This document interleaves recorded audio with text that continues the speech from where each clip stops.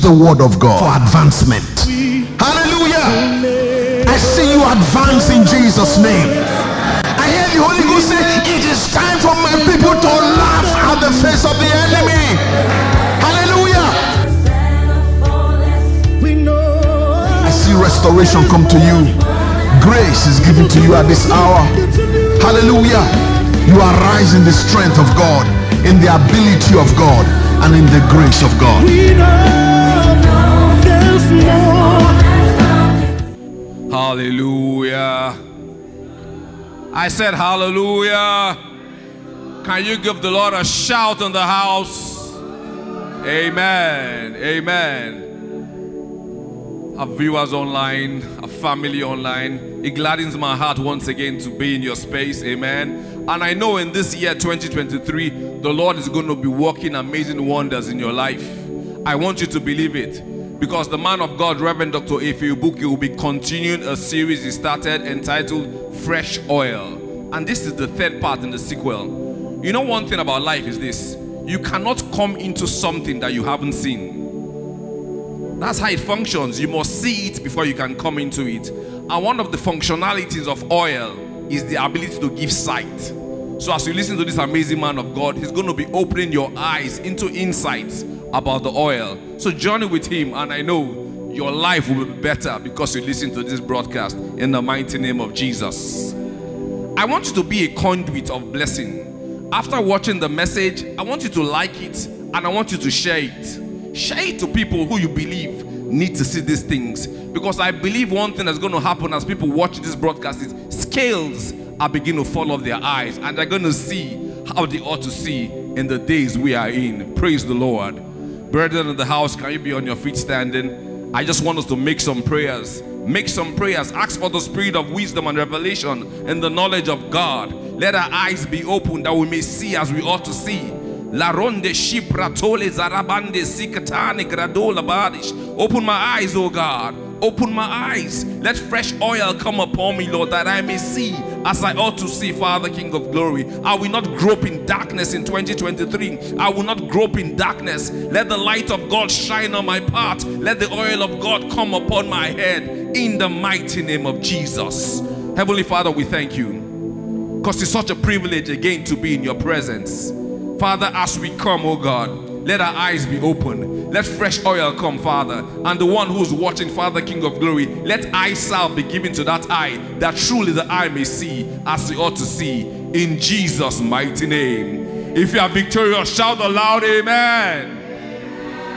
Can we just make welcome with a rounded clap of ovation the amazing Pneuma praise?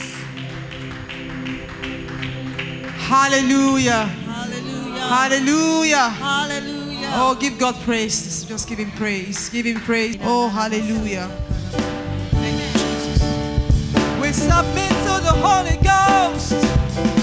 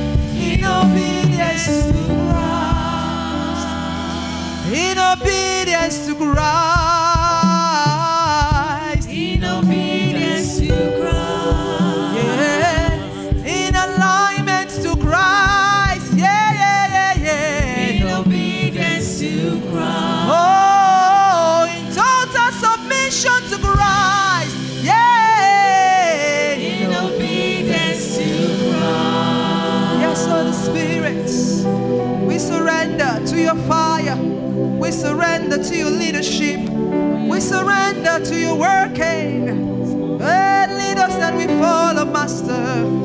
Lead us, Holy Ghost, and we follow. Thank you for ordering everything, propelling everything, organizing everything, and arranging everything. Yeah, yes, yes, yes to the Holy Ghost. Yes to the Holy Ghost. We worship you, Holy Spirit. Thank you, Jesus. We worship you. We surrender to your leading completely.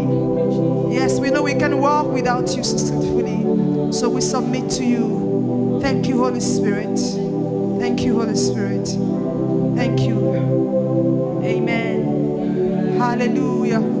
Hallelujah. Just wave your hands to Him as you take your seats. We give you praise. You may be seated.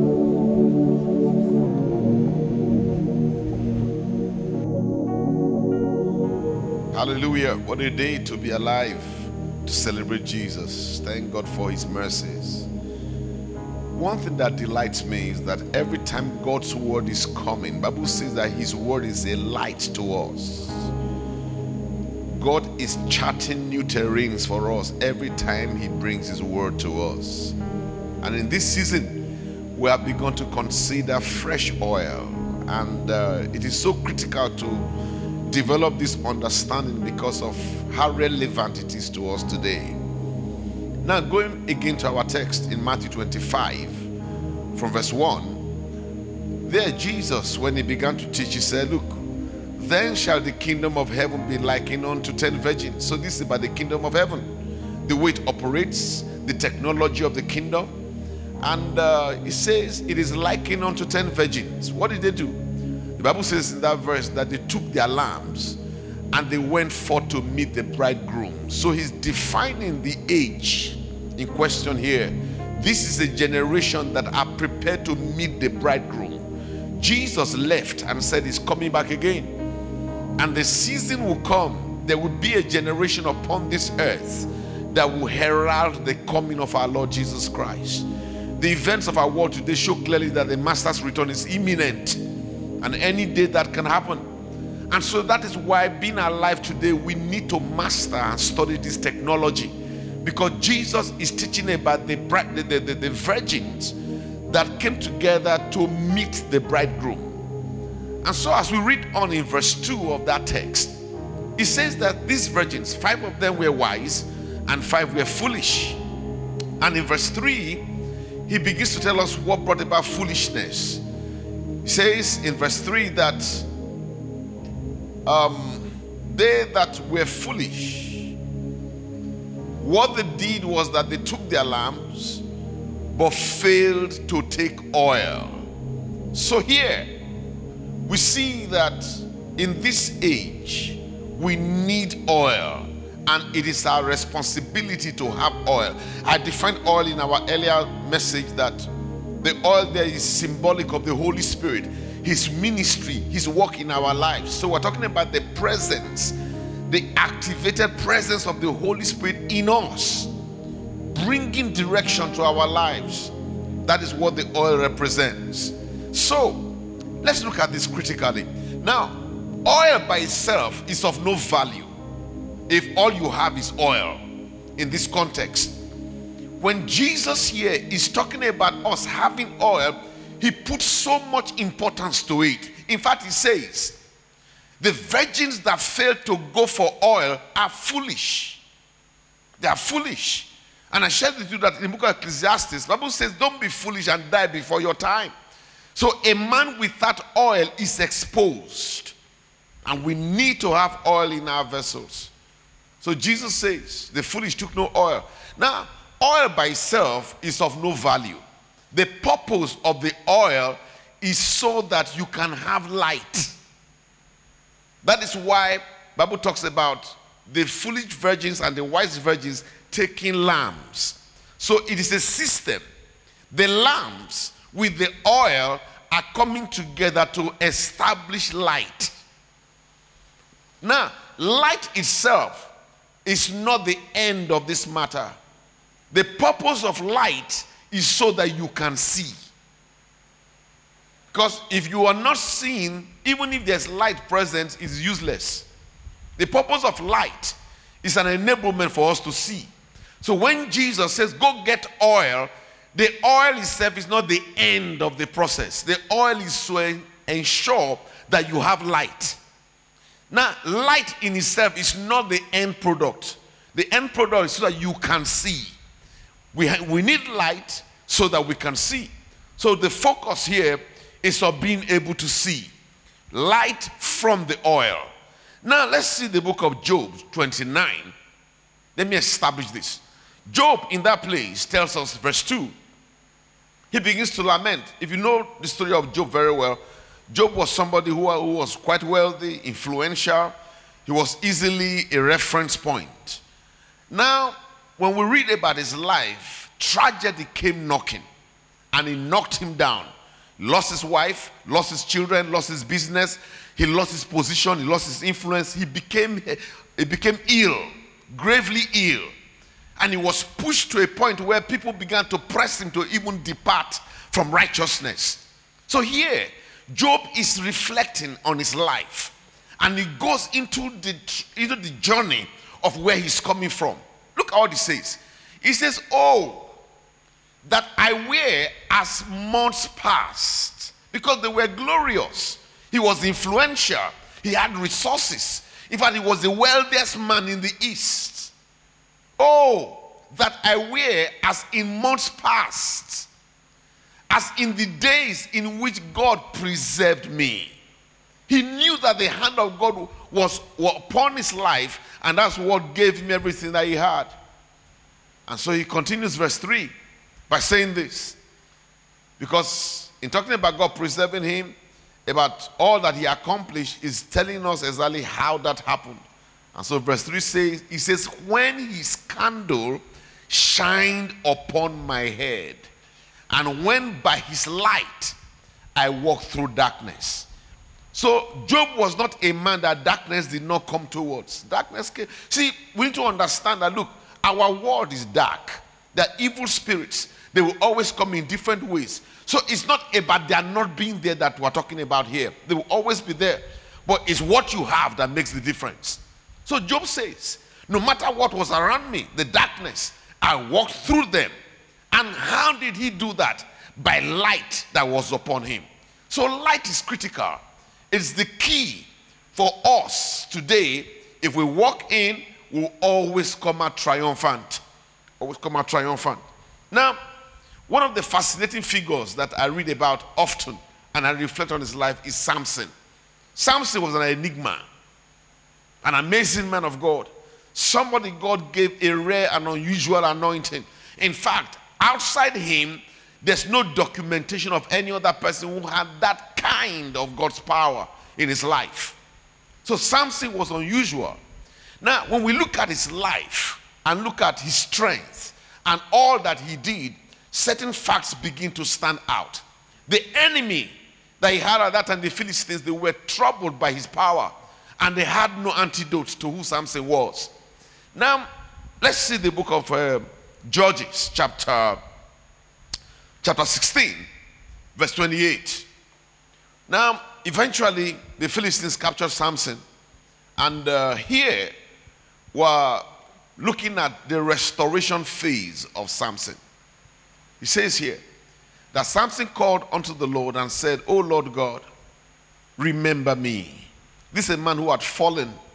He had been an invincible man, unusual strength, but was captured by the Philistines. He was imprisoned and made to push that grinding stone. Now, here is praying to God, calling out, Lord, I'm in this low place. I'm in this place where it looks like I'm forgotten, no longer celebrated. I'd like you to look carefully at his prayer.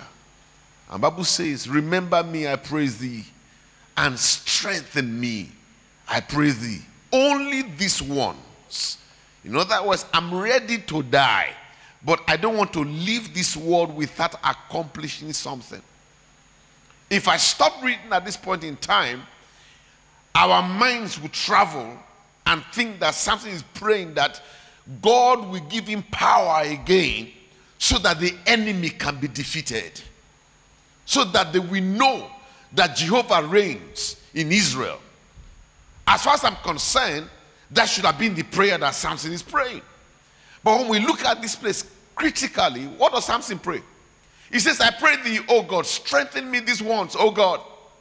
And he says, that I may be at once avenged of the Philistines.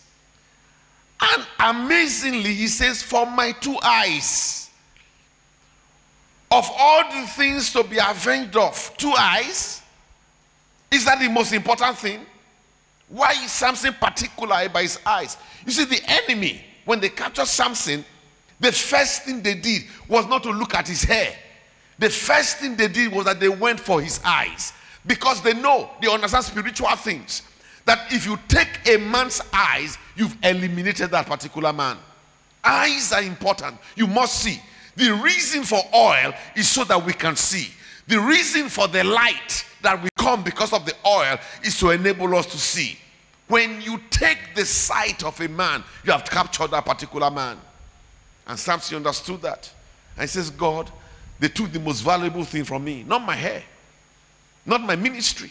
They took my eyes. A man that can see cannot be conquered. A man that can see can never be quenched. A man that can see will always rise in life. Two facts I want to show you here. Number one, you control a man's life to the extent you control his sight. I say that again. You control a man's life to the extent that you control his sight. Number two fact Satan cannot dominate you until he controls your sight.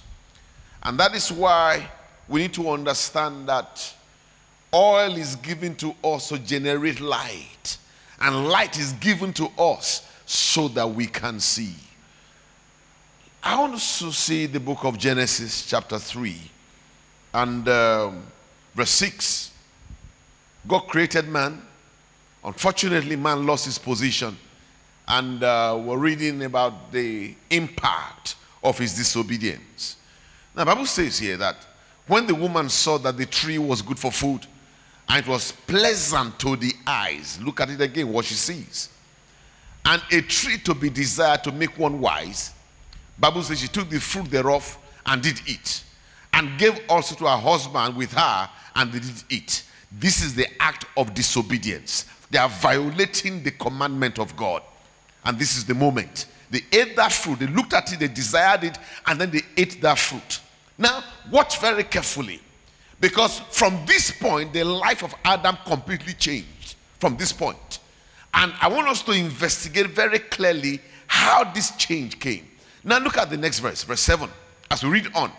The first impact of disobedience, of what they ate, Bible says the eyes of both of them were opened.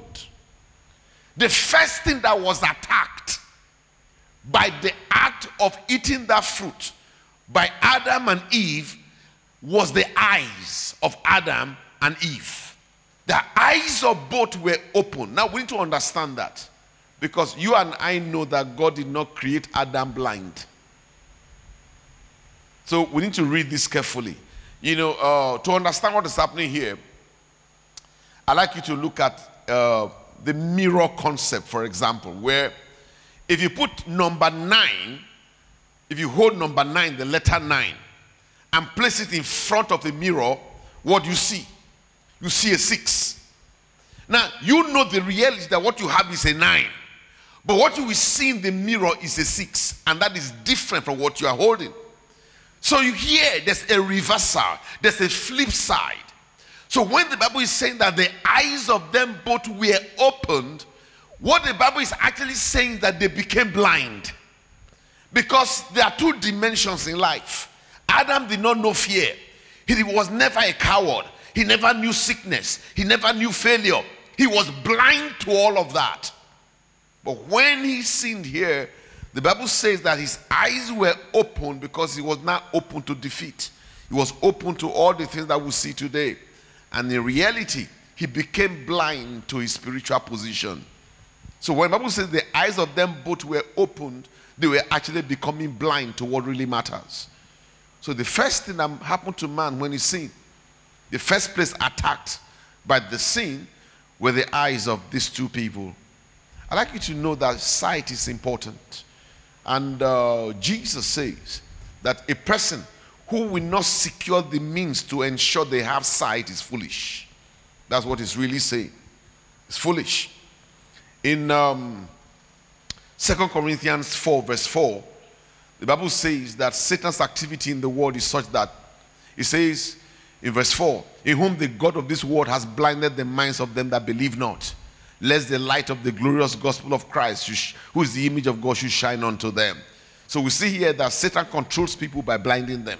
If you don't see, no matter how zealous you are, how much you fast and pray, what kind of church you go to, at the end of the day, your life will be inconsequential. Satan will blind the minds of those that believe not.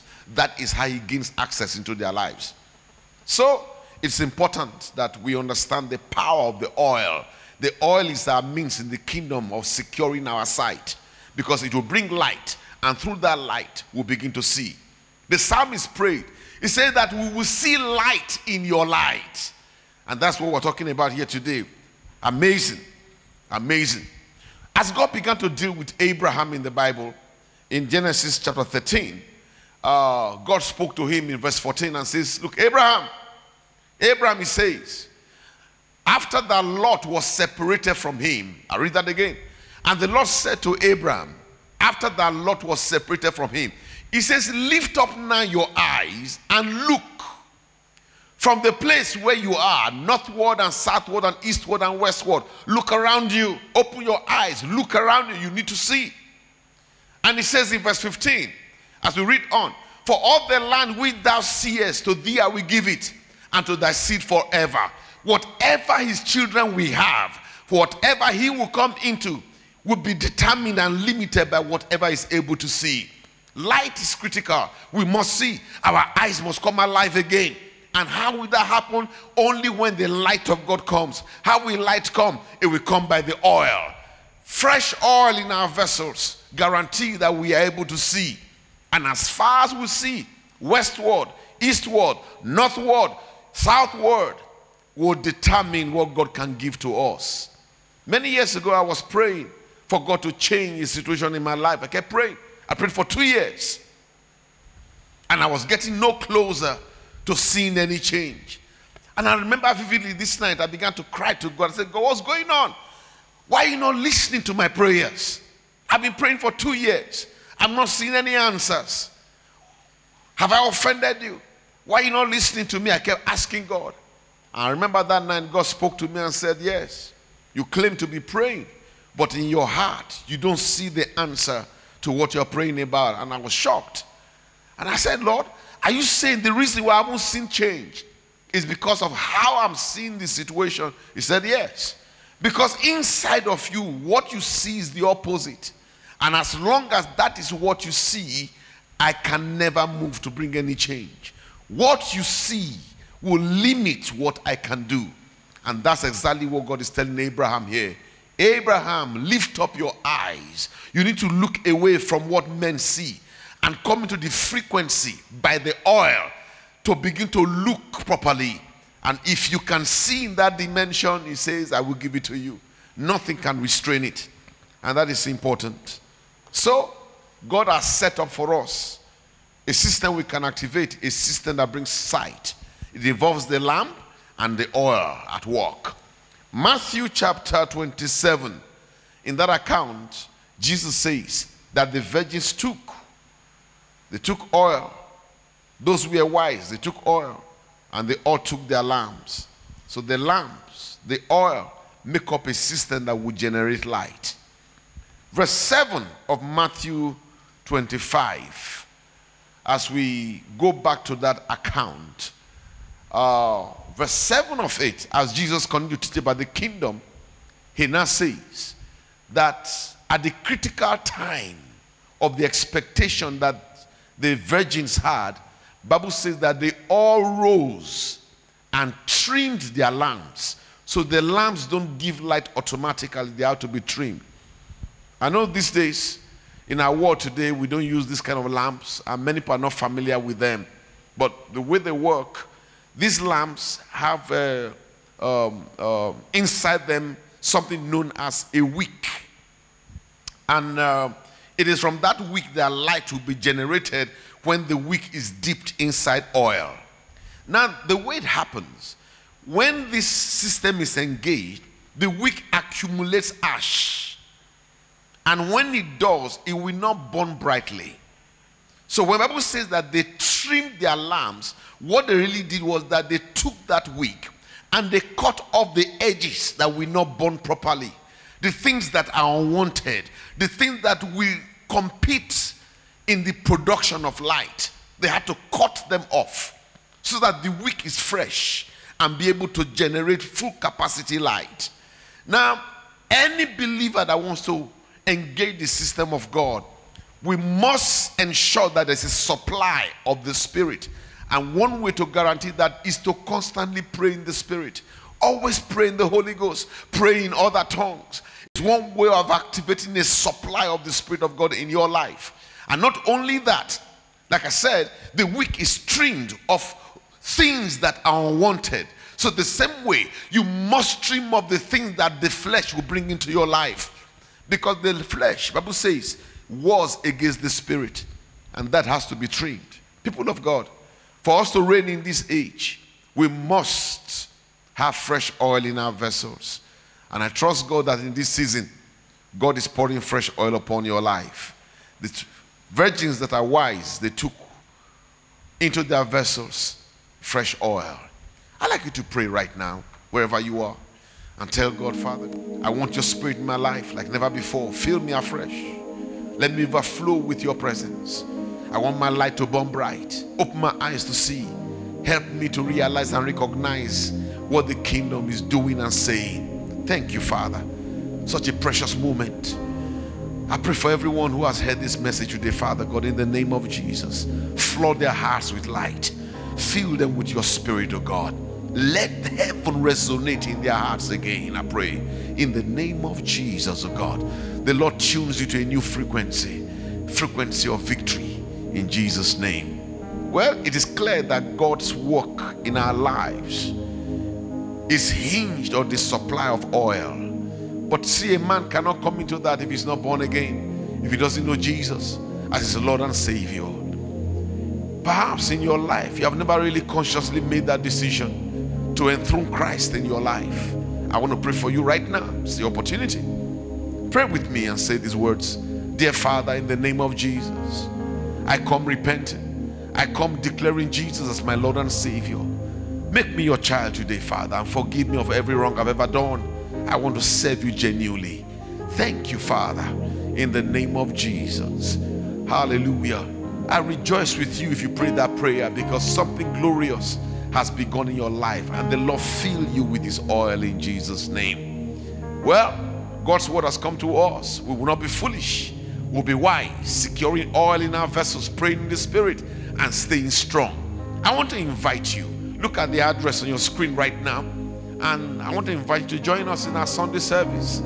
God is doing amazing things at the Glory Pavilion Church. And uh, I'd like you to come. Let's encounter God together and bask in His presence. I see you when you come. God bless you in Jesus' name. Well, before I go today, I want to pray for everyone who's given an offering, you've given a seed, you paid your tithes, whatever you've done. I want God to bless you today. Dear Father, in the name of Jesus, I pray for everyone who has sown a seed, who has given an offering. I bless your life in the name of Jesus.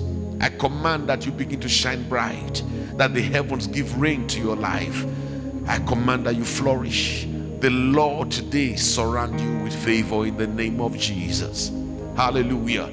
Remember, until the enemy controls your sight, he can never dominate your life. You are a champion, you are born to be one. Stay strong and have fresh oil in your vessel. God bless you.